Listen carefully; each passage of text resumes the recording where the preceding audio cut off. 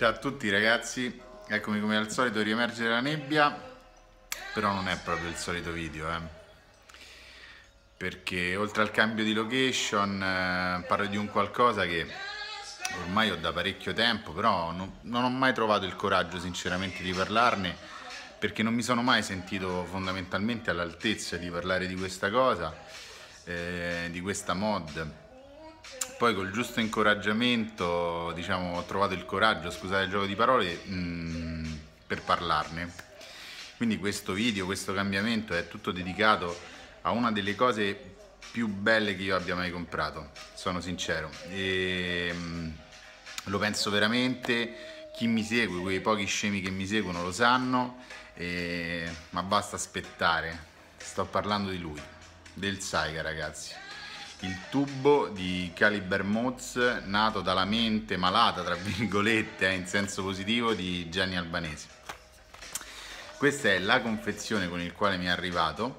Mm, già dalla confezione, secondo me, si capisce qual è stata la filosofia di Gianni per lo sviluppo del progetto, ovvero ehm, eleganza e semplicità che sembrano delle cose che non possono andare d'accordo, no? Perché uno pensa che le cose semplici siano un po' così, però a mio avviso è così. Il Saiga è elegante e semplice allo stesso tempo.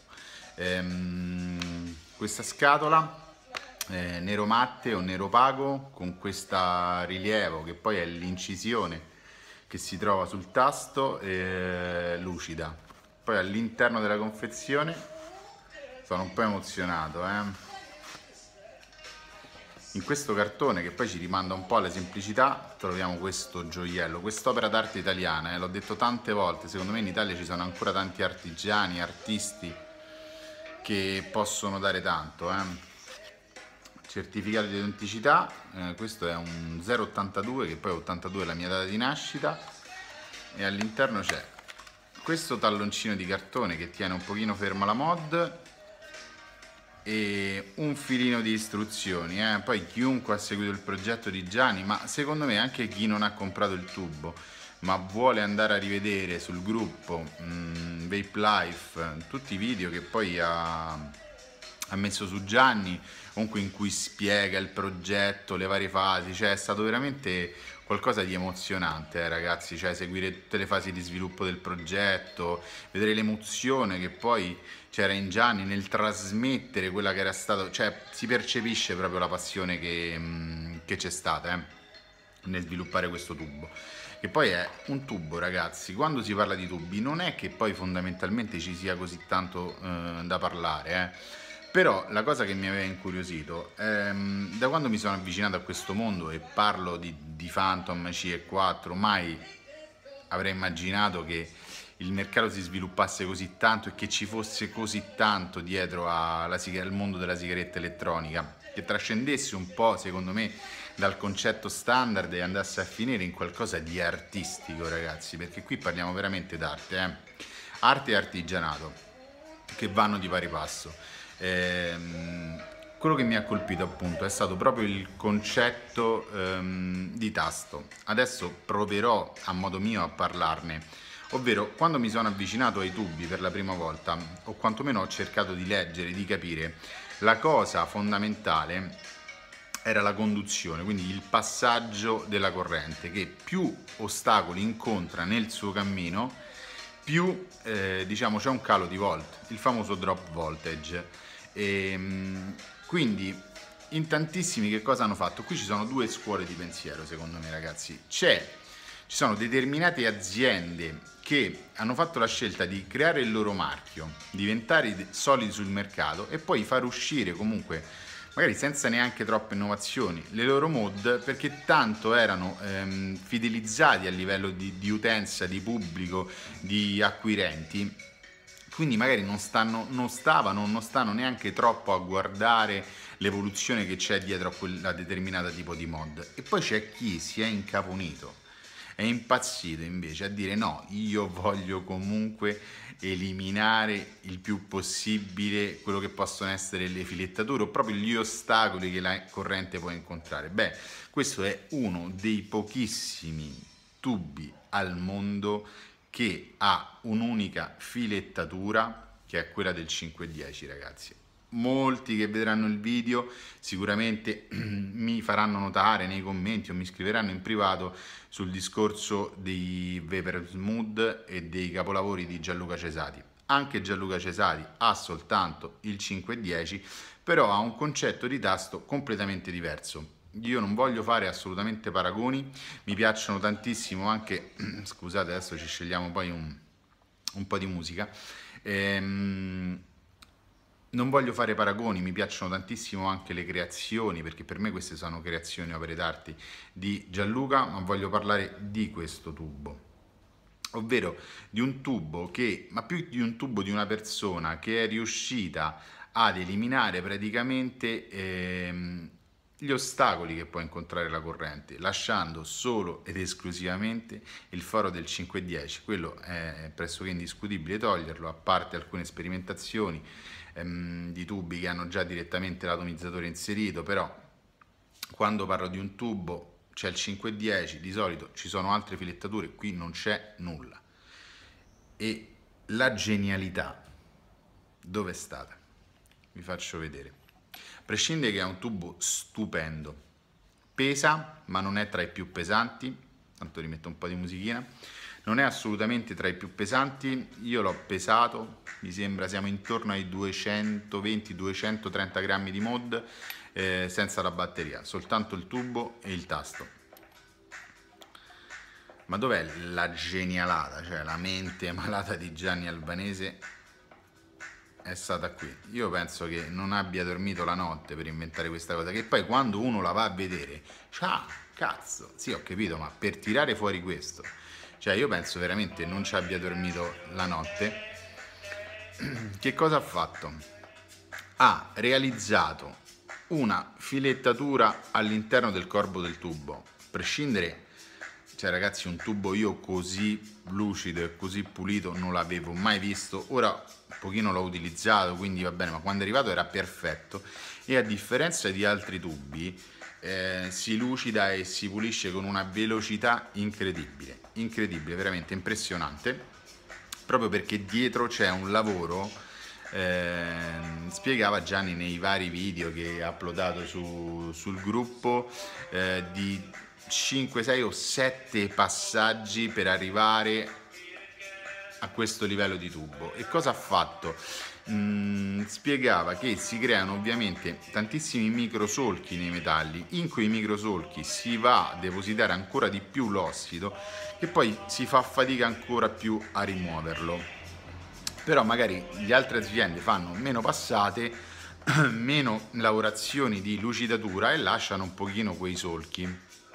Quindi le mod si sporcano di più e è più faticoso andarle a pulire. Gianni invece con veramente una pazienza da stacanovista, ha ehm, effettuato sette passate con diverse grane, diversi, spiegava diverse paste, diverse spazzole per arrivare a ottenere una finitura che non si vedrà mai perché non, non gli rende giustizia, ragazzi, nel video, nell'inquadratura, ma è veramente super, super ehm, lucido, super liscio, cioè non c'è nessuna increspatura, nessuna incanalatura nel metallo.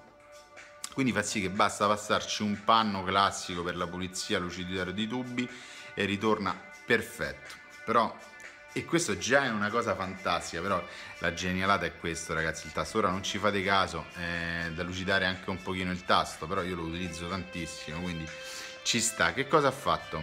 Ha mm, creato la filettatura all'interno del corpo del tubo e ha creato questo tasto semplicemente geniale, ovvero ha messo un anello di Derlin con la filettatura che si va a aggrappare all'interno del corpo del tubo e poi facendo pressione sale ovviamente c'è questa molla all'interno del tasto che fa salire il tasto manda in battuta il pin dell'atomizzatore con la batteria e conduce la corrente. La corrente è condotta completamente da questo tasto.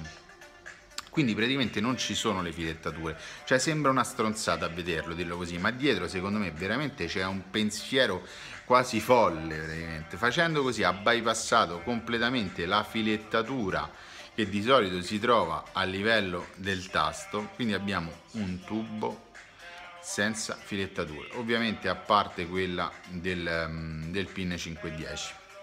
Ora però giustamente è arrivato il momento di andarcelo a provare. Quindi batteria non sto neanche a dirvi ragazzi comunque basta dargli un'occhiata e capire che qui non ci sono fuori di sfiato non c'è la sleeve.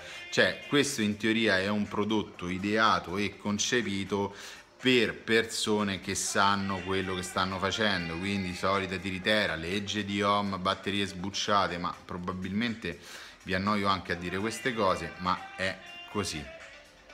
Ora batteria questa è una batteria che ha un pochino di vita adesso è carica sicuramente però sapete che i tubi stressano abbastanza le batterie poi per l'occasione ho preso non ve ne ho ancora parlato lo adoro ragazzi. È un po' coatto come si dice a Roma eh, ma lo adoro.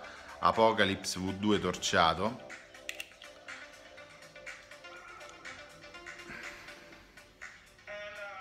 Avvitate l'atomizzatore e poi continuate ad avvitare il tasto per mandarlo in battuta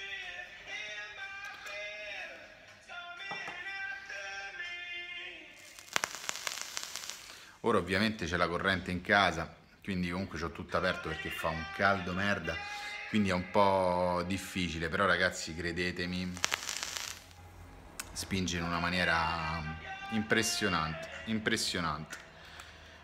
Altra cosa che non riuscirò sicuramente a farvi vedere per via della corrente che c'è in casa è il discorso quasi del booster, del turbo, della turbina che entra, perché se voi sfiorate leggermente, ok, il tasto ha una spinta, ma quando mandate completamente in battuta tutta la parte conica con la parte eh, conica che ospita il tasto beh credetemi sembra di entrare che entri proprio le, la turbina il turbo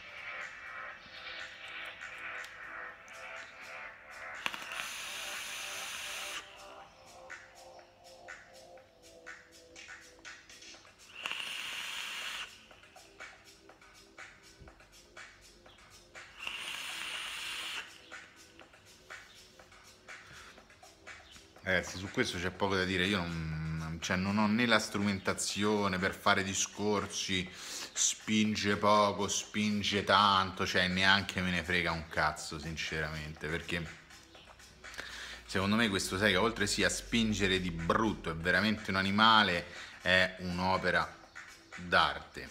Questa non può essere una marchetta per il semplice fatto che sono stati prodotti 200 pezzi e basta. So che uscirà a breve una batch, un'altra batch in rame elettrolitico, qualcosa di pff, devastante. Eh, però ripeto non può essere una marchetta perché questa non è una produzione di massa i 200 pezzi sono esauriti eh, lo faccio solo ed esclusivamente perché credo probabilmente non, credo ne sono certo è una delle cose più belle che io abbia mai comprato a livello estetico, a livello funzionale, a livello di pensiero, eh, la reputo veramente un'opera d'arte. Quindi ehm, i miei più grandi complimenti eh, a Gianni che ha concepito, ha partorito dalla sua mente malata, sempre con affetto, questo capolavoro. E seguitelo comunque perché probabilmente uscirà appunto, vi dicevo, quello del rame e qui ho pensato una cosa, eh? poi lo sapete io devo dire sempre quello che penso. All'inizio quando ho preso questo tubo e mi sono reso conto eh, proprio da subito di aver preso un gioiello, un'opera d'arte, ero contentissimo che fosse un'edizione limitata e non fosse una produzione di massa. Poi però col tempo che ho superato questa cosa, mh, mm, probabilmente un po' mi dispiace. Mi dispiace perché io credo che, non dico a tutti, ma vada data l'opportunità di acquistare questo, mh, mm, questa mod. Quindi Gianni, oltre a farti i complimenti, mh, ti chiedo di valutare quantomeno la possibilità di produrne eh, altri pezzi per dare eh, l'opportunità veramente, non dico a tutti, ma la possibilità di acquistarlo perché merita, merita veramente tanto.